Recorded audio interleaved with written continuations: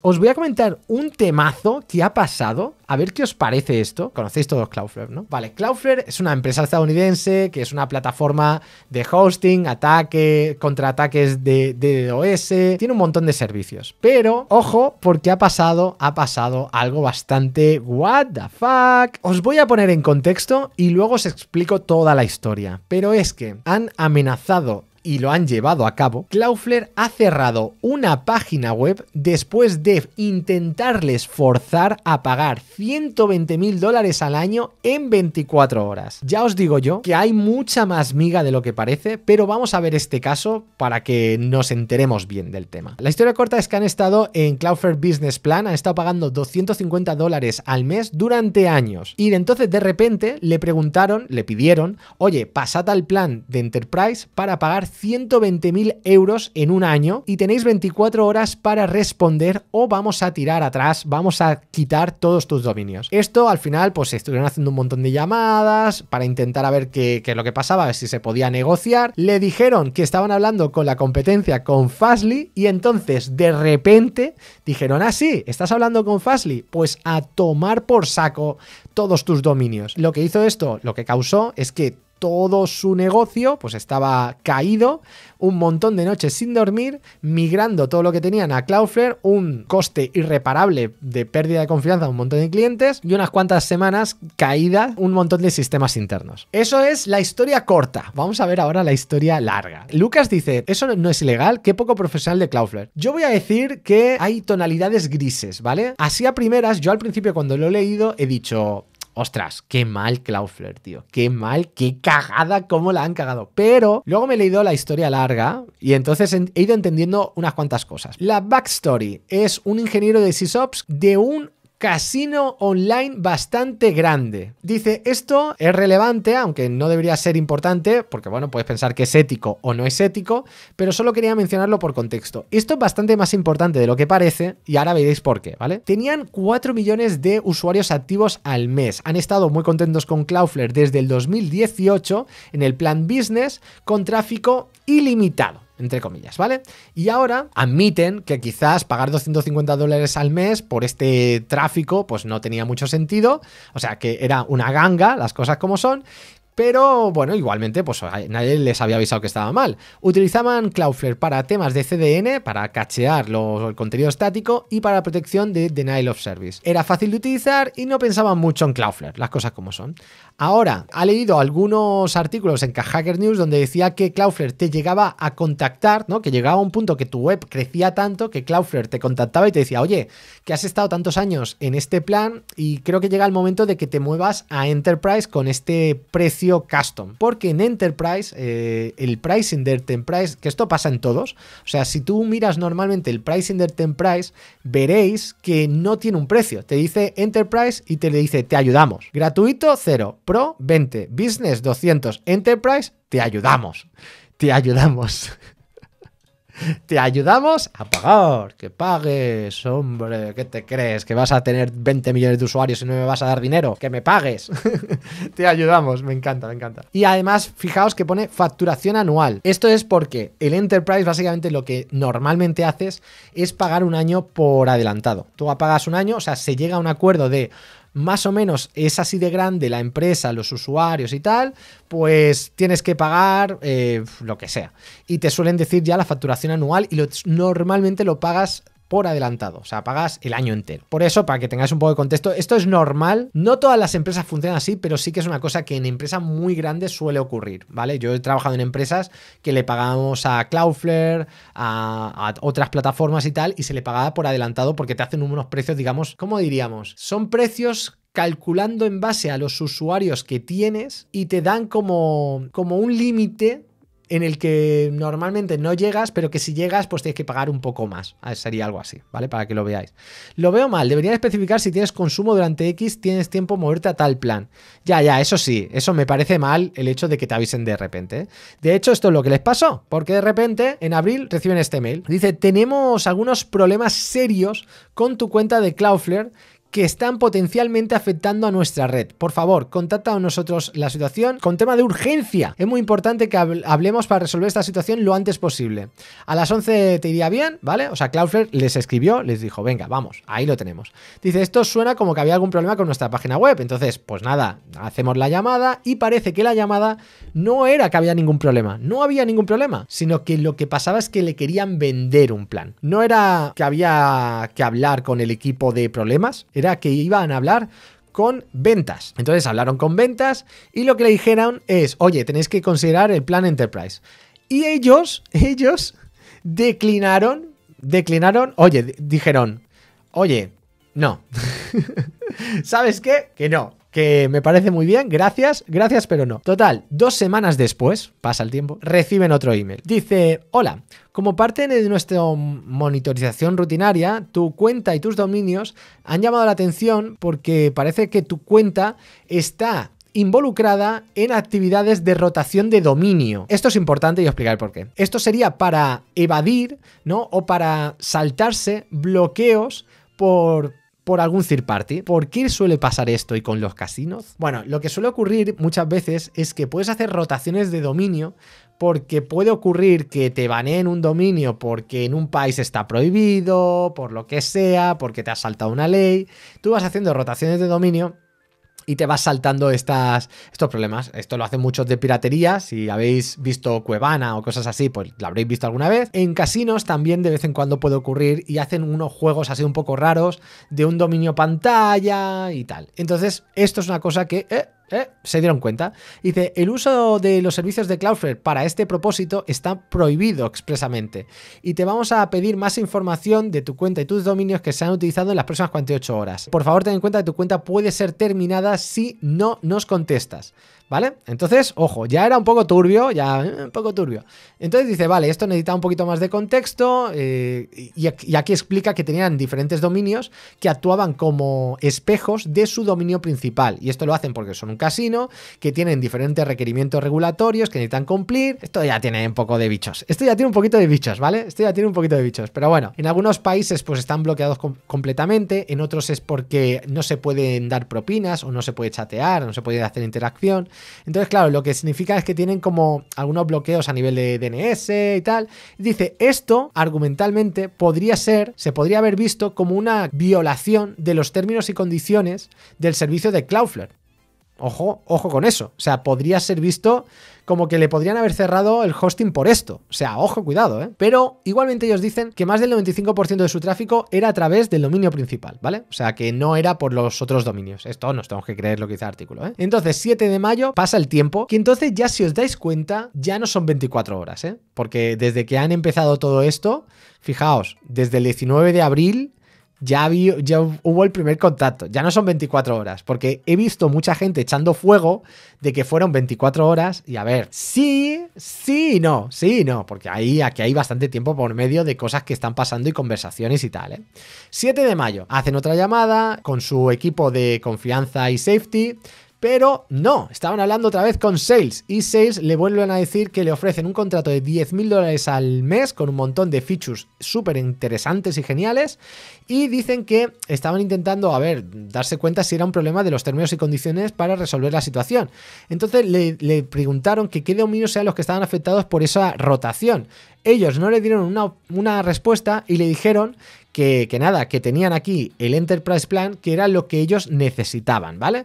Entonces, no le ofrecieron otra cosa que esto de pagar 10 mil dólares al mes, que decía que mágicamente iban a resolver el problema que tenían, ¿no? Y dice que ellos no estaban interesados, Cloudflare no estaba interesado en otra resolución, solo querían que pagasen los 10 mil dólares al mes y punto. Ellos dijeron que tenían 24 horas, o sea, Cloudflare les dio 24 horas para firmar el contrato. Dijeron, oye, tenéis 24 horas para firmar o os echamos para atrás, os cerramos el chiringuito. La gente del casino pidió pagar mensualmente, a lo que ellos dijeron que había que firmar como una, un commitment, como que había que firmar por adelantado un año, pagar todo el año y ya está. Ellos lo, sintieron como una extorsión. Yo os digo, lo puedo entender que la gente lo vea como una extorsión pero en empresas grandes es bastante habitual, ¿eh? bastante habitual de hacerlo con un año por, por, adelantado. O sea, no, a mí no me parece tan raro, pero entiendo que ese momento sea un poco que te sientas como, madre mía, o sea, es un poco extorsión. Puede ser. Yo creo que les tendrían que haber dado más tiempo, las cosas como son. ¿eh? O me pagas 120 mil dólares para mañana o destruimos tu negocio. Entonces, aquí, aquí es donde he entendido la historia. Este es el email donde está la oferta que le dice de los 10 mil dólares al mes, ¿no? Como hemos discutido, aquí tienes la solución que necesitas para tu caso de uso. Y entonces aquí hay diferentes cosas que dices, claro, ahora lo entiendo. Porque fijaos, fijaos que en el Enterprise Plan le entran dos servicios que son justamente los que necesita este casino para dos cosas. Uno, no meter en problemas a Cloudflare y dos, para hacer la rotación perfectamente de los dominios y los espejos que estaban haciendo. Entonces, claro, ahora entendiendo, eh, cuando ya ves esto dices, ah, claro, este VIP, esto es, para que lo entendáis, eh, Bring Your Own IP. El VIP, esto es una, es Bring Your Own IP, ¿vale? Esto es lo que significa. Esto, claro, esto suele ser una cosa muy premium, ¿vale? Muy premium, que esto no lo suele necesitar nadie. Pero esto lo que significa es que tú lo que tienes que hacer, o sea, lo que puedes hacer es traer tu propia IP al servicio y sigues utilizando el servicio de Cloudflare con tu rango de IPs. Y esto sirve para dos cosas. Uno, porque a lo mejor tú quieres un control de no atarte tanto al servicio y tener tu propia IP, pero también sirve para controlar para que Cloudflare le permita no, no tener esa IP que está haciendo algo que puede ser, mm, vamos a decir, no delictivo, pero que pueda estar en una zona gris según en algunos países. Porque, claro, si tú eres un casino que puedes tener problemas en un montón de sitios, cuando tú traes y utilizas la IP de Cloudflare, el último responsable sería Cloudflare y van a, van a ir a por Cloudflare y le pueden llegar a banear toda su red o una parte de la red y esto tendría un impacto negativo en el resto de clientes. Imagínate que eh, este casino hace algo malo o no debería hacer algo en Malta y dice, ah, vale, pues esta IP, esta, esta y esta, todas estas las vamos a banear y a tomar por saco. Y como es de Cloudflare, pues le deja de dar servicio a la mitad de, las webs que están en Malta. Podría ocurrir. Entonces, el VIP lo que significa es que, vale, tú traes tu rango de IPs, son tuyas y los servicios los tenemos aquí, ¿vale? Esto es lo que significa. Claro, yo cuando he visto esto ya lo he entendido. Es que seguramente Cloudflare lo que se estaba haciendo aquí, y seguramente se, lo, explicarían las cosas como son, porque estos, estos dos servicios son los que necesitaría este casino para funcionar con normalidad dentro de Cloudflare. Porque si no, claro, si no, no les interesa para nada y seguramente va en contra de los términos y condiciones de Cloudflare. Ahora he entendido un poco mejor el tema, el tema de por qué lo estaba haciendo Cloudflare. No sé cómo serían las conversaciones, pero claro, esto es un servicio muy premium que hay que pagarlo, obviamente. Y por aquí pueden ir los tiros, ¿eh? yo creo. ¿Ves que dice, you can list IPs y nosotros haríamos el onboarding, advertise en tu behalf. O sea, que podrían servir en nuestra red, pero serían tuyas, ¿vale? Yo me las quedo y ya está. Y luego tendrían también el, SSL 4S, que sería para cambiar hostnames y mirrors, con 3 segundos de propagación sin necesidad de ir cambiando DNS, CDN y tal, las configuraciones. Y esto puede estar hecho por la API, que es justamente lo que ellos necesitaban. Claro, lo que pasa es que a partir de esto también se le incluyen, con el Enterprise Plan, se le incluyen un montón de extras que a lo mejor ellos no necesitan. O sea, a lo mejor todos estos extras le importa un pepino, ¿no? Pero fíjate que lo que incide mucho es esto. Mira, puedes el VIP, pues que sepas que lo puedes, eh, puedes contratarlo aquí, aquí, aquí. O sea, que hay diferentes sitios donde lo está diciendo, ¿no? Y fíjate que incluso le vuelve a insistir aquí. El Enterprise Plan tiene esto, tus dominios para la rotación, tiene, puedes hacer esto, y el VIP, el soporte y el onboarding. O sea, que le está dando por aquí, ¿no? Dice, tengo, tengo unos términos de condiciones, pero por 10 mil dólares por mes tengo estos Yo creo, Anita, que sí y no, porque entiendo que en los términos y condiciones seguramente hablaría de no puedes utilizar nuestras IPs para hacer, utilizar casinos o cosas que pueden ser delictivas en ciertos países y tal. Pero claro, aquí es como te lo puedes saltar en que traigas tu propia IP. Yo me imagino que van por ahí los tiros. ¿eh? Igualmente dice, mira que el email implica que es un pago mensual, que puede ser posible. Bueno, bueno. Es verdad que aquí pone with default, aquí pone default annual payment. O sea, que te lo están desglosando mensual, pero lo que te están diciendo es que lo pagues anual, igualmente, ¿no? Le preguntabas por clarificación y decía que no, que hay que pagar el año entero. No necesitaba muchas de las features que mencionaban y quería preguntarles si podían el VIP para remover esto, pero las cosas, claro, pero al final lo importante es esto. Todo lo, lo demás es como por extra, ¿no? ¿Qué pasó entonces? Claro, pues le preguntaron al CTO, le preguntaban al CEO, ¿por qué no ponen un límite en el business y ya está? Bueno, pero que el límite, a ver, para que lo entendamos, yo lo que creo es que el límite no era un límite de, de transferencia ni nada, el límite fue que las IPs que estaba utilizando para lo que estaban haciendo, que era lo de casino y la rotación de dominios, no estaba permitido. Esa es la limitación a la que estaba. Yo no creo que estaban hablando de una limitación de transferencia. Si no hubieran tenido el problema este de las rotaciones y no hubiera sido un casino, yo creo que no hubieran tenido problema. Que hay cosas que no quiero defender a Cloudflare porque creo que podrían haber hecho muchas cosas mejor, ¿eh? pero creo que van más por ahí los tiros. Creo que tampoco se han portado bien y ahora os explico. ¿eh? Pudieron comprar una semana más de tiempo diciendo que lo iban a escalar al CEO y al CTO. Entonces, no estaban muy... aún todavía no... Ellos no, no pensaban cualquier otra resolución del problema y estaban, estaban rechazando darnos cualquier otra opción. Entonces, claro, pero también le está diciendo, bueno, pero pensad que es el tema, es que, es que me da la sensación que no han entendido que el problema es el tema de las IPs, pero bueno, ellos le daban más vueltas. 16 de mayo. Después de otra llamada, el CEO del casino le dijo a los de ventas de Cloudflare que estaban hablando con un competidor. Y entonces, en ese momento, en ese momento, dice, bueno, eso que parecía que podría ser obvio, porque claro, si le están ofreciendo una factura de 120 mil dólares al año, pues dice, bueno, vamos a buscar una alternativa. Bueno, pues unas horas después de esa llamada pasó esto. Purga, purga, purga, venga, todo, todo purgado, todo purgado, a tomar por saco. Bueno, yo creo que aquí es verdad que no sé cómo pasaría esto, pero no tiene mucho sentido que Cloudflare llegue a este punto tan bestia como, ah, ¿no quieres pagar? Creo que deberían todavía que haberle dado más tiempo. No puedes quitarte un cliente que haya llevado tantos años, tantos años, de esta forma. Lo malo es que no sabemos cómo ha sido toda la conversación. Leyendo todo el artículo, como que me da un poco de... que se han, o se han hecho los tontos, o hay cosas que dices, a ver, si eres SysOps, realmente deberías saber de lo que te estaban hablando claramente. Hacerte el tonto, ganar tiempo y tal, tampoco. Entonces no sabemos cómo ha sido la otra parte de la historia, cómo lo verá Cloudflare. Pero aún así, aún así, creo que Cloudflare debería haber tenido más paciencia. Creo que no puedes, no puedes hacer así, de tienes una, llamada que te dicen, estoy ahora eh, hablando con competidores y tal, y en unas horas después te revientan el negocio. Esto no es aceptable, tío.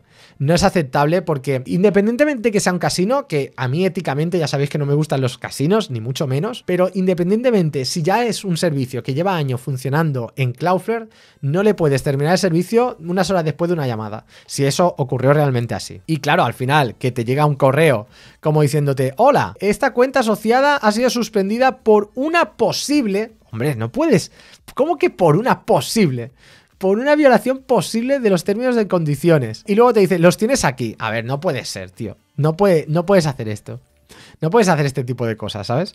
También es verdad que es raro porque dice aquí que la suspensión no impacta, deshabilita o quita los servicios actuales, no bloquea nuevos dominios y tal. Pero aquí, o sea, aquí le pone purga. Purga es eliminar, delete sin el where, básicamente. O sea, bueno, el where es eh, de esta cuenta cualquier cosa que sea y ya está, ¿no? No sé, es como, es como bastante raro. Y luego aquí ya le dijeron, bueno, gracias por ponerse en contacto con soporte, el, soporte se pondrá en contacto con vosotros. Y nunca, nunca les escribió. Estas cosas tampoco dan, dan muy, buena idea. Entonces, la verdad, da grimilla. Lo peor es que no es el primer caso, y esto es lo que sí que es verdad que da un poquito de miedo de Cloudflare, porque fijaos, aquí hay diferentes casos de gente que le ha pasado algo parecido.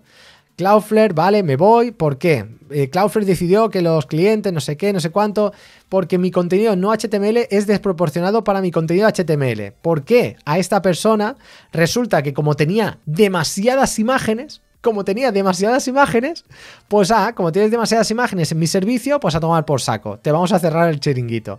Luego, este, ¿qué le pasó a este? Este era un SaaS que utilizaba mucho los Cloudflare Workers, ¿vale? Tenía 4.000 millones de peticiones y un petabyte de datos al mes. Durante cuatro años lo ha tenido sin ningún tipo de advertencia y de repente empezó a ir cada vez más lento, más lento y dicen, no, es que claro, tienes que actualizar tu cuenta porque te has pasado del límite, lo estás utilizando un montón.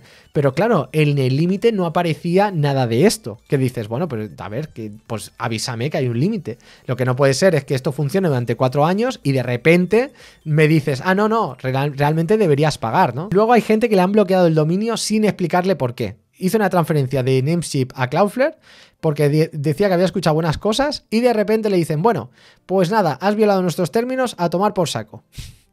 Al final parece que sí, que lo había arreglado, que lo habían vuelto a poner y tal, pero claro, dices, ostras, qué, miedo, ¿no? ¿Por qué pasa estas cosas? Y el dominio era este, MNF90, que tengo miedo. A ver, voy a entrar, voy a entrar antes, a ver, a ver qué es lo que es. Verificar que es ser humano, a ver qué es.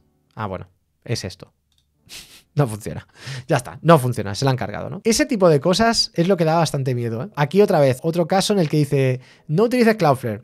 Una empresa mediana que tienen un budget bastante ajustado y que al final pues están utilizando su business plan y de repente le dicen, claro, no hay límites mencionados, no hay ningún límite mencionado y de repente le dice que tienen que pagar 3.000, 4.000 dólares al mes.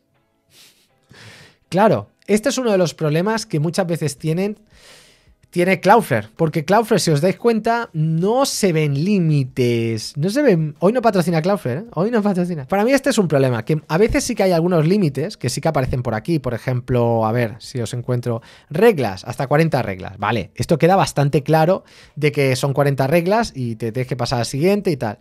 Pero, por ejemplo, cuando te pones a comparar en tamaños de transferencias de datos y cosas así, pues no aparece. No aparece que transferencia de datos te ponga ahí. A ver si.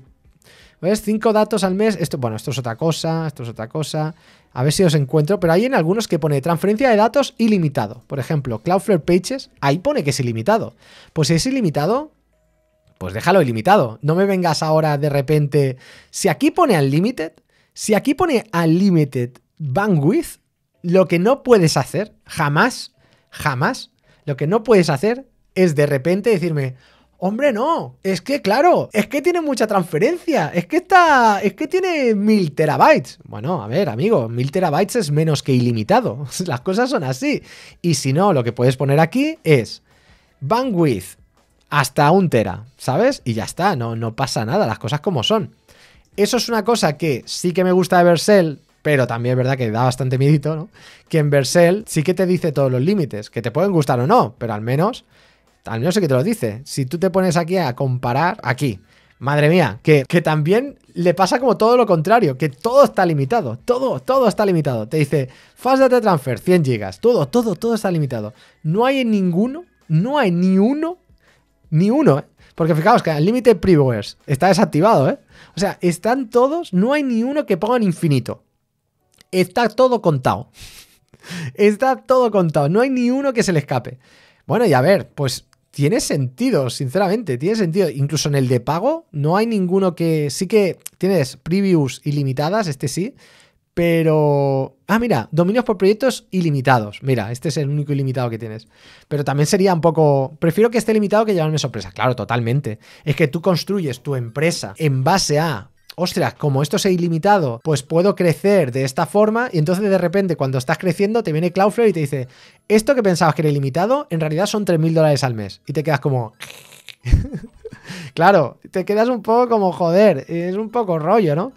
Claro, le falta transparencia. Que, que sí, que podemos, que podemos comentar que el límite es bastante, seguro que el límite es un límite muy exagerado, ¿vale? Que, porque Cloudflare la verdad es que tiene, está muy bien de precio, pero puede dar un poco de, de rabia el hecho de que te diga ilimitado, ilimitado y luego no sea tan ilimitado como te diga. Por ejemplo, en este, claro, aquí no, no aparece, pero está súper, están súper bien de precio y la capa gratuita está muy bien, pero si te dice ilimitado, es ilimitado. Punto, ya está. ¿Cuál es el mejor hosting? Yo no creo que haya un mejor hosting, porque depende de todo. Yo no te diría, el mejor hosting es Vercel, porque no lo es, pero es que tampoco lo es AWS, como tampoco lo es Cloudflare. Pero creo que los tres son los mejores en según qué caso. ¿vale? Por ejemplo, creo que Cloudflare para los ataques de denial of service para la inmensa mayoría de webs están muy bien porque te salen gratuitos. Y creo que para ciertas páginas web y para empresas pequeñas, Vercel es la clave porque no vas a tener que estar tú pendiente de hacer infra. Pero si es una empresa muy grande, yo iría por AWS, porque es que AWS el coste que tiene comparado con lo que puedes pagar en Vercel no tiene ningún tipo de sentido. Si eres una mega empresa, yo iría por, por AWS sin ninguna duda. Pero el peligro de AWS, y esto es una cosa que a lo mejor no sé si alguna vez lo habéis pensado esto, ¿eh? No sé si esto habéis pensado alguna vez. Pero AWS, el peligro que tiene, os voy a explicar el peligro. ¿Habéis pensado alguna vez, alguna vez esto? Que da un montón de, de vértigo. Si vosotros veis AWS, que es impresionante AWS, ¿vale? Y tenéis capa gratuita que también está súper bien. Pero una, un peligro que tiene AWS es que no solo la empresa más grande del mundo. Muchas gracias por la MiduFest. Gracias Midu, ayer en el trabajo estábamos en modo ninja el equipo de desarrollo viéndote Midubos Midulove. muchas gracias. Eh, gracias a ti. Muchas, muchas, muchas gracias. Te lo agradezco un montón y nada, fue un placer. Bueno, lo que da miedo de AWS es que eh, tú como persona humana, tú puedes alquilar eh, la instancia esta de T4G Nano, que es la más pequeña, que es un, el ordenador más pequeño, tal, y pagas pues, por cada hora 0,004. Pero lo que es increíble de AWS es que da igual que tú seas Pepito, que bebes en Venezuela, eh, que estás en lechería viviendo y que estás en tu habitación encerrado, ¿vale? Que tú, comparado con Nike, que tiene millones de usuarios, o con la empresa de Japón de la Nissan, que tiene millones de clientes, que tiene una facturación de millones de euros, los dos tenéis acceso a, las mismas máquinas. Podríais pillaros el tanto, tanto la persona esa de Venezuela como la, como la empresa gigante pueden levantar una máquina y empezar a gastar dinero como si no hubiera mañana. O sea, es como uno de los servicios seguramente, o sea, podrías pillar esta máquina por una hora, la podrías levantar. Y eso es lo que me parece muy peligroso, pero muy potente, ¿sabes? Es, como, da mucho vértigo. Que una persona entra en AWS y dice, pues sabes qué, me voy a poner aquí y voy a levantar esta máquina, que tengo 512 GB de memoria RAM, una hora, y la voy a levantar. Y la levantas, tío. Y es que eso es increíble. Es como todo el poder. No, no, ¿qué problema? No hay ningún problema. Hombre, a ver, sí que hay problema en el sentido de que tienes acceso a algo que se te puede ir de las manos. ¿eh? Peligroso no entiendo en qué sentido. ¿En qué sentido? Madre mía, ¿cómo se nota? O que no habéis tocado WS o que lo habéis tocado muchísimo. ¿En qué sentido? En que tú puedes generar una factura de 13 mil dólares en un día, sin querer. ¿Sabes? Ese es el tema. Que sí, ah, no, es que puedes eh, poner alertas, es que puedes hacer tal, pero es que a lo mejor Federico, que está en Buenos Aires, Argentina, puede hacer él por sí solo y tocando tres botones una factura a mejor de 15 mil dólares en un solo día. Y AWS te, vamos, va a ir a por ti, ya te lo digo yo. Entonces, ¿qué problema hay? No es que sea un problema, es que me parece increíble el hecho que una persona pueda hacer eso y que al final está accediendo a lo mismo, al mismo panel de control, a exactamente lo mismo que puede tener una gran, una gran empresa. Y, hombre, ¿qué problema hay? Pues eso, que se te puede ir de las manos. Se te puede ir de las manos y que te pase. Esto, por ejemplo, este son 24 dólares la hora. Bueno, tampoco es muy, muy exagerado. Pero con base de datos ya se te puede ir mucho más, ¿no? AWS es peligroso porque es muy fácil endeudarse sin querer. Es que podéis generar facturas que se te va de las manos, ¿eh? El camino en cloud podría ser arrancar en Vercel cuando son pequeñas, pasan a Cloudflare cuando son medianas y luego pasan a AWS. Sí, puede ser. Y terminar con máquinas físicas también puede ser. Es lo mismo con Azure. Es exactamente lo mismo con Azure. Es exactamente lo mismo con Azure. Y eso es lo que, lo que da bastante miedo, ¿eh? que te puede pasar esto.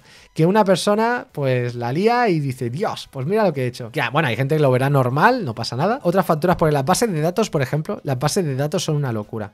Las bases de datos sí que pueden ser caras, pero caras, caras. Calcular. Estimación personalizada. Bueno, y si le ponen métricas, es que se te puede ir de las manos en un momento. ¿eh? Se te puede ir de las manos en un momento. Mira, costo total mensual. No he configurado nada. No sé si lo veis, porque no sé por qué, pero fijaos, ¿eh? Costo, fijaos. no he configurado nada, solo, solo le he dado, solo le he dado, solo le he dado RDS, 5.500 dólares, ¿sabes? Madre mía. Y sabes, si te pones a. Madre mía, para que os un poco la idea.